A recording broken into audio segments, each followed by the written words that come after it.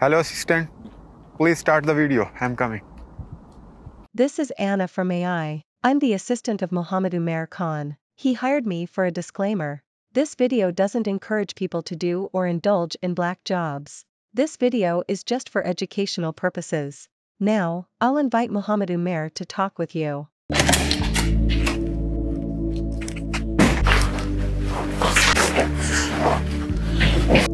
Chat GPT और AI का दौर चल रहा है तो हमने कहा, हम भी एआई असिस्टेंट ले लेते हैं। तो खैर, आज हम बात करते हैं ज़रा ब्लैक जॉब्स पे।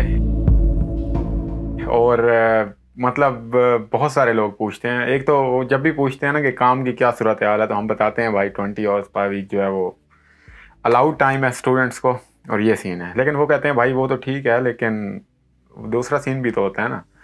तो फिर ये दूसरे सीन को बनाने के लिए और इसमें थोड़ी सी हम देखेंगे कि वो होती कौन सी जॉब्स हैं और आपको वो क्यों नहीं करनी चाहिए और सारा सीन अच्छा सबसे पहले तो देखते हैं कि ब्लैक जॉब्स होती क्या है। कोई ऐसी वो ब्लैक जॉब्स नहीं है जो मैं कह रहा हूँ, कोई नशा बेचने वाली या चर्स बेचने वाली, वो नहीं। बल्कि ब्लैक जॉब्स इसको कहते हैं कि वो देखें, आपके पास अगर फ़र्ज़ करें काम करने की इजाज़त नहीं है और फिर आप काम कर रहे हैं और एम्प्लॉयर के साथ अंडर द टेबल आपके साथ डील है कि इतने पैसे में आपको दूँगा और आप पर घंटा काम करेंगे और स्टेट के किसी रिकॉर्ड में नहीं है, कोई कॉन्ट्रैक्ट नहीं है उसके साथ लीगल वाला तो ये वाली ब्लैक जॉब हो गई। अब इसमें किस तरह की जॉब्स होती हैं, ये इस तरह होता है? अक्सर ये जो होता है वो मतलब अक्सर क्या ये होती और जॉब्स में होती हैं?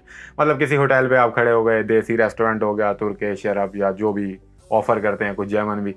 तो ये क्या होता है कि आप उनके होटल वगैरह पे या इस तरह के छोटा छोटा बिज़नेस होता है नॉर्मली और जो बड़े बिज़नेस हैं या जो लीगल वाले, जो अच्छे वाले बिज़नेस हैं मतलब कोई कंपनी है या स्टार्टअप है वहाँ ऐसा कुछ नहीं होता, ना और बड़ी कंपनीज़ अमेजोन हो गई, इस तरह की बड़ी कंपनीज़ में ऐसा कुछ नहीं होता।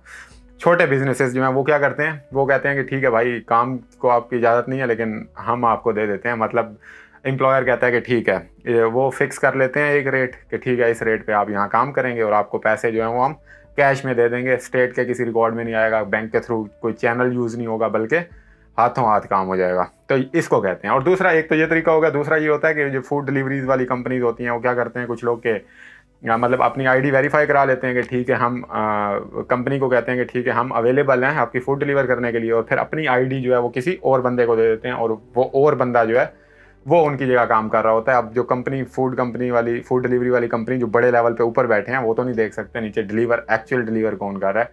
तो इस तरह वाली जॉब्स को ब्लैक जॉब्स में जो है वो काउंट किया जाता है। अब इसमें पैसे कितने मिलते हैं, इसको बाद में देखते हैं, लेकिन सबसे पहले आप ये सोच रहे होंगे कि यूरोप जहाँ तरक्की याफ्ता मुल्क है और लॉज हैं, हर चीज़ें वहाँ ये कैसे मुमकिन है तो वो देख लेते हैं ज़रा। असल में जिस तरह मैंने बताया कि बड़ी कंपनीज़ और जो स्टार्टअप्स या वेल इस्टेब्लिश्ड कंपनी यहाँ ऐसा कुछ नहीं होता जो छोटे जो बिजनेसेस हैं, वहाँ अब गवर्नमेंट क्या है कि वो हर एक बंदे पे कोई कैमरे तो नहीं लगा सकती ना मतलब ये क्या होता है कि दो बंदों के दरमियान होता है, एक एक एम्प्लॉय के दरमियान और एक एम्प्लॉयर के दरमियान, वो आपस में फिक्स कर लेते हैं कि ठीक है। अब फॉर एग्जांपल होटल पे आपको फोर चार घंटे काम करने की ज़रूरत है। चार घंटे काम करना अलाउ है एक दिन में एक स्टूडेंट को, लेकिन आप वहाँ आठ घंटे काम करते हो। अब कोई बाहर कोई सेंट्रल अथॉरिटी या कोई बंदे तो नहीं खड़े होते ना जो देख रहे हो कि भाई बंदा अब अंदर गया है चार घंटे हो गए हैं, वापस नहीं आया, या अब आठ घंटे। तो इस तरह का कुछ है नहीं। तो वो दो बंदों के दरमियान होता है एम्प्लॉय और एम्प्लॉयर के दरमियान तो इसलिए ये चल जाता है।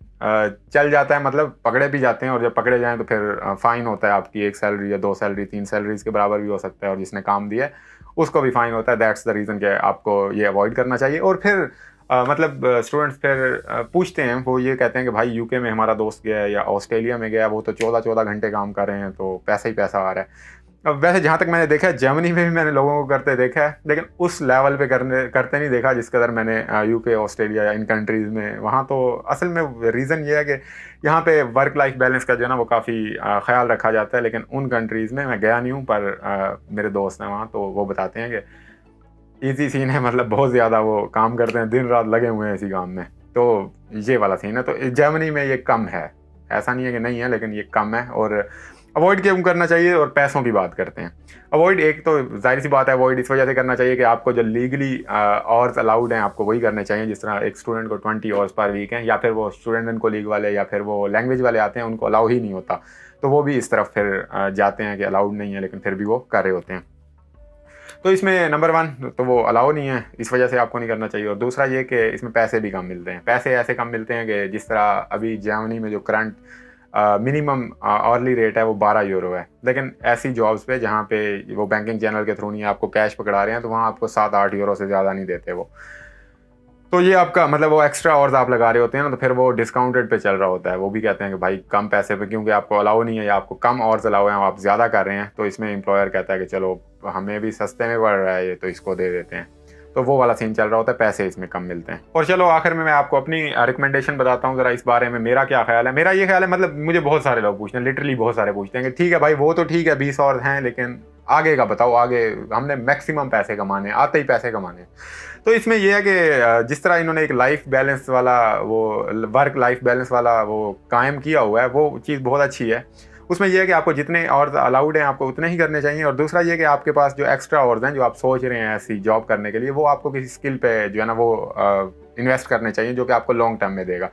लॉन्ग टर्म में फ़ायदा देगा। मतलब ये कि अगर आपके पास लेट सपोज़ आप पढ़ाई को भी साथ लेके चल रहे हैं जॉब भी चार घंटे चल रही है, लेकिन फिर भी आप कहते हैं कि भाई हमारे पास टाइम है तो फिर वो किसी स्किल पे लगा लें, जो आपको लॉन्ग टर्म में फ़ायदा दे। इंस्टेड ये कि आप चार घंटे और लगा के वहाँ पे अपना टाइम बेचें एक तरह से। देखें टाइम बेचना जो है वो बुरी बात नहीं है मतलब सर्वाइवल के लिए तो ठीक है चार घंटे। और जो जितने पैसे, जितने आपको अलाउड वर्किंग आवर्स है ना, उसमें आपका सर्वाइवल इजीली हो जाता है इवन आप बचा भी सकते हो थोड़े से। तो उसके बाद जो मनी स्टैक वाला ऑप्शन आता है ना कि पैसे आप इकट्ठे कर लें, और इकट्ठे कर लें तो उसको लॉन्ग टर्म में देख लें कि किसी स्किल पे वो चीज़ वो टाइम यूटिलाइज कर लें ताकि आपको लॉन्ग टर्म में वो फ़ायदा दे सके क्योंकि ये तो आप जितने घंटे काम करेंगे उसी के लिहाज से देगा लेकिन जब आपके पास स्किल होगी जब आपके जब आप वैल्यूएबल होंगे तो क्या होगा उससे आप मज़ीद पैसे कमा सकते हैं आगे फ्यूचर में तो बस ये चीज़ थी और बाकी ठीक है फिर मिलते हैं किसी और वीडियो में Goodbye. By the way, please subscribe the channel if you still haven't.